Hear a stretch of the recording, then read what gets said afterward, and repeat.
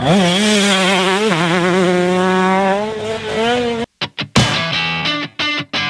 What's up motocross action? Today we have a brand new 2020 KTM 125 SX. The KTM 125 SX only got a few updates for 2020. There's a new fork piston and a new setting in the XACT WP forks, and the shock also got a new setting and a new compression adjuster for improved tuning. The major updates for this bike came in 2019. The frame was all new last year, it kept the same geometry as the previous year, but the changes were made to alter the flex characteristics. Torsional stiffness was increased by 10% and longitudinal stiffness was increased by 2%. They did this by increasing the outer diameter of the frame's cross brace and by re-engineering the head tube gusseting. The subframe got slightly longer and lighter, the cylinder has a new layout for the exhaust port, the clutch got the updated diaphragm system, it got the restricted air box that MXA has been constantly complaining about until they finally gave us the vented ones and the new four-stroke models. We wish they would have came on the 125, but we can always swap it out with our 450s. There were also some minor updates to the suspension, seat, fuel tank, kickstarter, clutch cover, swing arm, triple clamps, radiators, and exhaust in 2019. It wasn't a, brand new bike, but there was lots of little changes everywhere on it. This bike got a lot of updates last year and we weren't expecting anything big for 2020, especially when the Austrian two-strokes competition is a Yamaha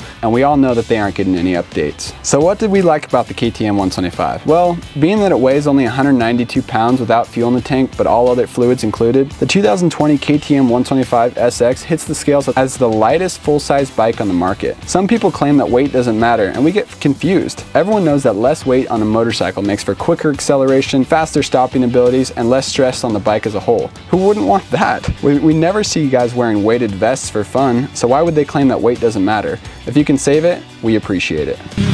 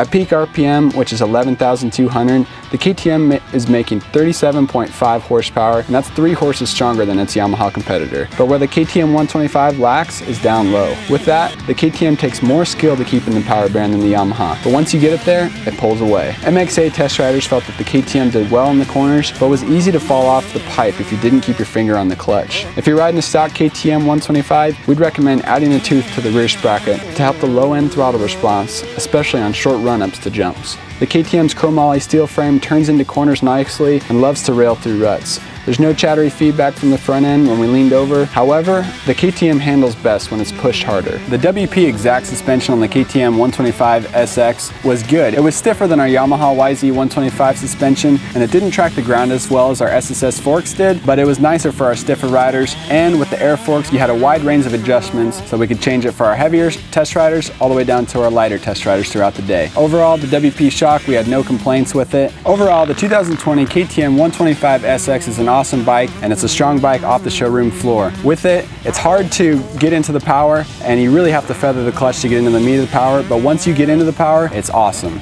We here at MXA really appreciate the R&D money that KTM and Husqvarna are putting into their two-stroke development program to keep improving these bikes each year. Obviously there wasn't major changes in 2020, but it had a lot of big updates in 2019 and even some minor adjustments for 2020. We appreciate that the Austrian brands are still investing in the two-stroke market and we know that our readers and loyal MXA viewers do as well.